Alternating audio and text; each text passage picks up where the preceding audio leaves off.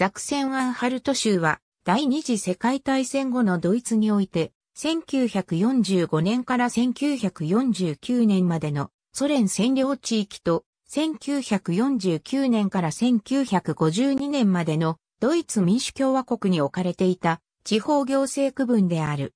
現在のドイツ連邦共和国ザクセンアンハルト州と同じ名称ではあるが、その範囲はやや異なる。ザクセンアンハルト州は1816年から1944年まで置かれ、1944年7月1日にハレメルゼブルク県、マクデブルク県、及びエアフルトに分割されて消滅したプロイセン、自由州ザクセン系を復活させたものである。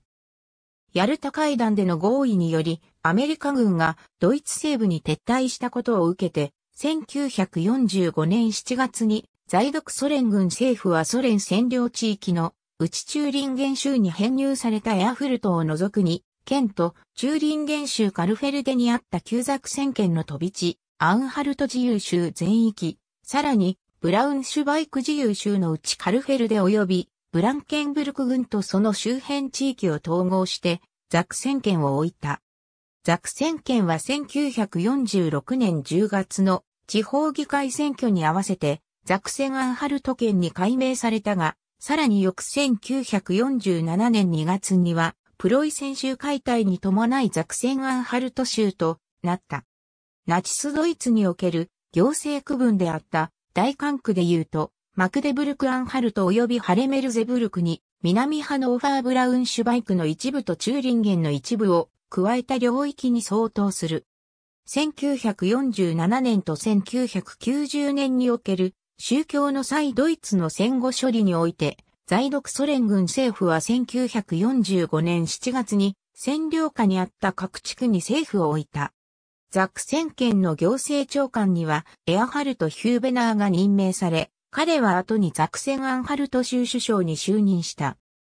ザクセン・アンハルト州議会の第1回選挙は1946年10月20日に実施され、ソ連の後ろ盾を得たドイツ社会主義統一党が得票率45.8%で第一党となり、ドイツ自由民主党が29.9%、キリスト教民主同盟が21.8%、農民相互協力協会が2.4%を獲得した。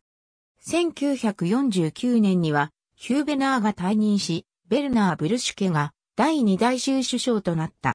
1947年2月には州憲法が採択されたが、州議会のすべての決議は在独ソ連軍政府の承認を経なければならなかった。1949年10月にドイツ民主共和国が建国されると、1950年10月に第2回州議会選挙が行われた。この選挙はすべての政党が合同して選挙連合、国民戦線を結成した上で行われたもので、候補者リストもあらかじめ体制側が決めた議席配分に基づくものであった。すなわち、実際にはドイツ社会主義統一党率いる翼賛体制への信任投票に過ぎず、投票率も実に99.8%に上った。この選挙に続いて、議会上院にあたる共和国参議院に8人の州代表が送られたが、結局これは最初にして最後の事例となった。ドイツ社会主義統一党は従来ドイツが採用していた連邦制ではなく、中央集権的な単一国家の建設を施行していたことから、1952年7月のドイツ民主共和国憲法の改正により州は解体された。5つあった州はそれぞれ解体されて14の県に再編され、ザクセンアンハルト州は、コトブス県、マクデブルク県、ハレ県、ライプツヒ県の4県に分割された。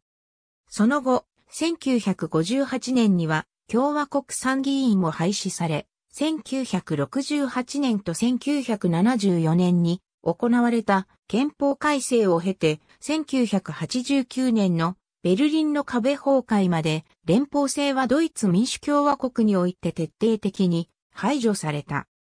1990年3月に同国発の自由選挙が実施されて、ドイツ再統一を主張する保守連合を、ドイツ連合が勝利すると、1990年7月23日に県を統合した上で教会を調整して新たに5州が設置された。